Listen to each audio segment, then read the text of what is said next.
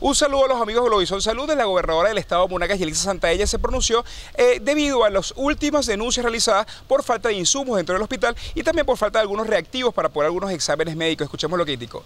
Todos los pacientes que tengan que hacerse algún tipo de estudio, que no tengan los mm, recursos necesarios, porque son la gente pobre que asiste al centro, bueno, que la fundación pueda cubrir este tipo de eh, exámenes. Hasta tanto definitivamente pues retomemos eh, la sala de imagenología de este centro, que aquí viene, porque estamos hablando de volúmenes. Allí tenemos un tomógrafo, pero ¿cuánta gente pasa por allí? Y ahorita está dañado, pues, porque ustedes saben las condiciones pues que tenemos allí con inclusive los insumos a nivel del país por la misma situación política que estamos viviendo. Bueno, andamos buscando el UPS, que es lo que hace falta allí, vamos a definitivamente a trastearlo donde lo encontremos para reactivar pues el tomógrafo. Las declaraciones fueron ofrecidas en la entrega de la sala de yeso del Hospital Central de Maturín. También podemos agregar que el director del hospital también habló acerca de los insumos y los eh, operativos que se van a hacer al inicio de la Semana Santa 2014. Escuchemos. Para este momento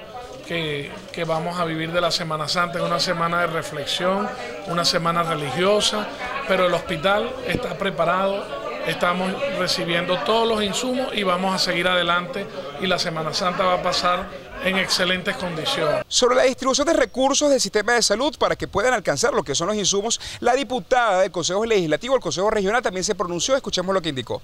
Que los recursos que son aprobados a través del Consejo Legislativo para la Salud en el Estado Monagas no están siendo distribuidos de la manera correcta. Por ejemplo, en todos los municipios no funcionan lo que es rayo X. Es verdad, en algunos municipios funciona el rayo X, pero donde funciona no hay traumatólogos. Por ejemplo, aquí en el municipio Bolívar, los pacientes tienen que ser trasladados a Maturín, eso sí, cuando hay ambulancia, porque tampoco hay ambulancia. De allí que un exhorto a la gobernación del Estado para que los recursos que son aprobados en este Consejo Legislativo sean distribuidos de la mejor manera para generar lo que estamos obligados a generar. Es la información que podemos aportar para Noticias Globovisión Salud desde el Estado de Monagas y con ella retornamos.